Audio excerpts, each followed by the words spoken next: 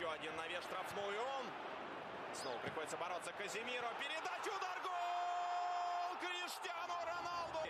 Как и в прошлом финале, Реал забивает быстрый гол. Тогда отличился Серхио Рамос. Сегодня забивает Криштиану Роналду. Ну и вообще достаточно часто в матчах с Атлетико Реал забивает первым. В этом розыгрыше Ла Лиги в первом круге в гостях Реал победил, забив сопернику три мяча. Во втором круге совсем недавно они играли. Ну что посмотрим, что здесь уж, честно говоря, испугался.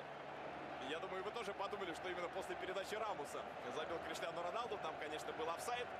Но Роналду до мяча не добрался. А когда пас делал Карлос Казимиро, Роналду уже был в правильном положении. Так что гол засчитан справедливо. Так вот, недавно здесь же на Сантьяго Бернабеу